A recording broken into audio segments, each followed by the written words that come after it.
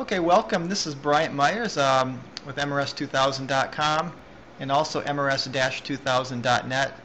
Um, just want to take you through uh, two examples um, of before and after on live blood microscopy. Um, live blood microscopy is a way to view the red blood cells under a microscope in real time so you can see you know the, the integrity and quality and um, and sort of the the overall health of the red blood cells, which is so important, of course, for oxygen utilization and um, you know nutrient absorption. So here we see somebody before. Um, this is before MRS 2000 or magnetic resonance stimulation, and notice that the the red blood cells are kind of dark and stuck together. And now afterwards, you can see just a very dramatic uh, change. Notice the the brightness of the cells. They're more spherical. They're there's more separation, um, which means that the, the cells are going to help to absorb oxygen and, and to release it into the cells that more effectively.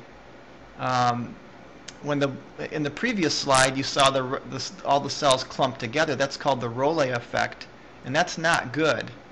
And it has to do with the lack of charge on the cells and it, it, it comes when the, the red blood cells get sticky and they stick together. And it's, I'm, you know, having a master's degree in physics and, and having taught physics for a couple years at Central Michigan and community colleges, it's, it's really just electrostatics. I mean, when you increase the, the cellular potential across the cell membrane, you get an increase of positive charge on the outside of the cell and a negative charge on the inside.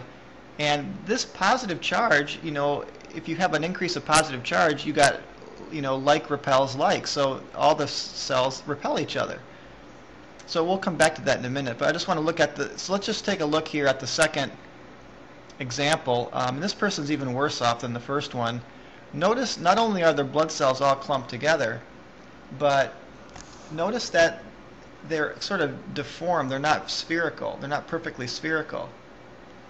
So uh, again, this is going to inhibit the amount of oxygen that can be absorbed and released into the cells. Now, the Rayleigh effect, this clumping, uh, which is again due to a lack of charge on the cells and a decreased voltage, um, is not good because the capillaries are very very small okay you know you probably know the arteries and veins they all come they come together at the at the on the capillaries and this is where the nutrients are absorbed into the lymph and then goes into the cells because all your, pretty much all your cells in your body except the red blood cells and certain immune cells are in the lymph. So by, with, when the cells all clump together, they, they can't even get through the capillaries because the capillaries only allow a, a single file um, Okay, so getting back to the slide here so we can see after the session again, you'll notice a very dramatic increase in, in the separation of the cells, the brightness, and notice that the deformed cells are now are spherical again.